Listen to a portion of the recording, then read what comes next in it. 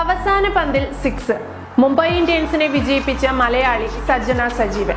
ഈ പേര് ഓരോ ക്രിക്കറ്റ് പ്രേമിയും ഹൃദയത്തോട് ചേർത്ത് വയ്ക്കുകയാണ്. രണ്ടായിരത്തി പതിനെട്ടിലെ പ്രളയത്തിൽ വീടടക്കം സകലതും നഷ്ടപ്പെട്ട് സർക്കാർ സ്കൂളിലെ അഭയാർത്ഥി ക്യാമ്പിലേക്ക് മാറേണ്ടി വന്നു സജനയ്ക്കും കുടുംബത്തിനും. ഒരു ഫിനിക്സ് പക്ഷിയെ പോലെ ഉയർത്തെഴുന്നേറ്റ സജന ഇന്ന് കേരളക്കരയുടെ അഭിമാന താരമാണ്. വനിതാ പ്രീമിയർ ലീഗിലെ തന്റെ ആദ്യ മത്സരത്തിൽ തന്നെ ഹീറോയായി മാറിയിരിക്കുകയാണ് മലയാളി താരം സജ്ജന സജീവൻ.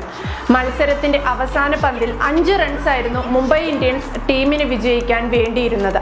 ഈ സമയത്ത് ക്രീസിലെത്തിയ സജ്ജന താൻ നേരിട്ട ആദ്യ പന്തിൽ തന്നെ ഒരു സൂപ്പർ സിക്സർ അടിക്കുകയും മുംബൈയെ നാല് വിക്കറ്റിന്റെ വിജയത്തിൽ എത്തിക്കുകയും ചെയ്തു.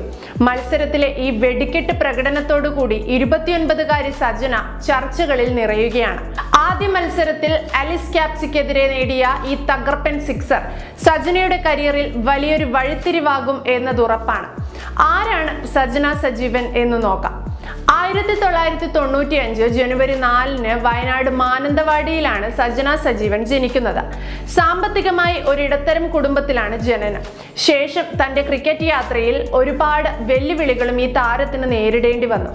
സജനയുടെ പിതാവ് ഒരു ഓട്ടോറിക്ഷ ഡ്രൈവറായിരുന്നു രണ്ടായിരത്തി പതിനെട്ടിലെ പ്രളയത്തിൽ വീടടക്കം സകലതും നഷ്ടപ്പെട്ട് സർക്കാർ സ്കൂളിലെ അഭയാർത്ഥി ക്യാമ്പിലേക്ക് മാറേണ്ടി വന്നിട്ടുണ്ട് സജനയ്ക്കും കുടുംബത്തിനും. വനിതാ ഐ പി എല്ലിന്റെ ആദ്യ സീസണിൽ ലേലത്തിൽ സജനയെ സ്വന്തമാക്കാൻ ആരും മുന്നോട്ട് വന്നിരുന്നില്ല. എന്നാൽ ഡിസംബറിൽ മുംബൈ ഇന്ത്യൻസ് പതിനഞ്ച് ലക്ഷം രൂപയ്ക്ക് സജനയെ സ്വന്തമാക്കി. ഓൾറൗണ്ടറായ സജന മികച്ച ഓഫ് സ്പിന്നറുമാണ് എൺപത്തിയൊന്ന് ടി ട്വന്റി മത്സരങ്ങളിൽ നിന്നായി ആയിരത്തി തൊണ്ണൂറ്റി മൂന്ന് റൺസുകളും അൻപത്തിയെട്ട് വിക്കറ്റുകളും നേടിയിട്ടുണ്ട് സജ്ജന. സഹതാരം യാസ്തിക ബാട്ടിയുമായുള്ള സംഭാഷണത്തിൽ സജ്ജന പറഞ്ഞത് ഇങ്ങനെയാണ്. ഒരെളിയ പശ്ചാത്തലത്തിൽ നിന്നാണ് ഞാൻ വരുന്നത്. കയ്യിൽ പണമൊന്നും ഉണ്ടായിരുന്നില്ല. എന്നാൽ പതിവായി ക്രിക്കറ്റ് കളിക്കാൻ തുടങ്ങിയതോടെ ദിവസവും നൂറ്റി അൻപത് രൂപ സമ്പാദിക്കാൻ തുടങ്ങി. ഇതെനിക്ക് വലിയൊരു തുകയായിരുന്നു. ഐ പി എല്ലിലെ അരങ്ങേറ്റ മത്സരത്തിൽ തന്നെ ഇത്തരമൊരു സമ്മർദ്ദ നിമിഷം വന്നു ചേരുമെന്നും ഒട്ടും കരുതിയിരുന്നില്ലെന്നും സജ്ജന പറയുന്നു. ഇതെന്റെ അവസരമാണ്. നന്നായി കളിച്ചാൽ ജീവിതം തന്നെ മാറ്റിയേക്കാം. പിന്നെ ഒന്നും നോക്കിയില്ല. സിക്സ് അടിക്കാൻ തന്നെ ശ്രമിച്ചു സജ്ജന പറഞ്ഞു. വയനാട്ടുകാരിയായ മിന്നുമണിക്ക് ശേഷം ഇന്ത്യൻ ക്രിക്കറ്റിന് അഭിമാനിക്കാൻ വീണ്ടും ഒരു മലയാളി താരത്തെ കൂടെ ലഭിച്ചിരിക്കുന്നു. മിന്നുവിന്റെ നാട്ടുകാരിയും അടുത്ത കൂട്ടുകാരിയും കൂടിയാണ് ഓൾറൗണ്ടറായ നമ്മുടെ സജ്ജന. ഇപ്പോൾ ക്രിക്കറ്റ് ലോകത്തെ ചർച്ചാ വിഷയം തന്നെ സജ്ജനയാണ്.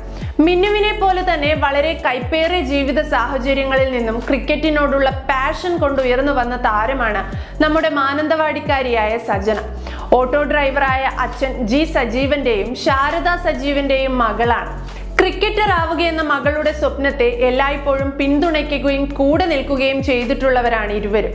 പക്ഷേ ക്രിക്കറ്റ് പരിശീലനത്തിലെ വലിയ ചിലവ് കുടുംബത്തിന് ഏറെ പ്രതിസന്ധികൾ സൃഷ്ടിക്കുകയും ചെയ്തിട്ടുണ്ട്.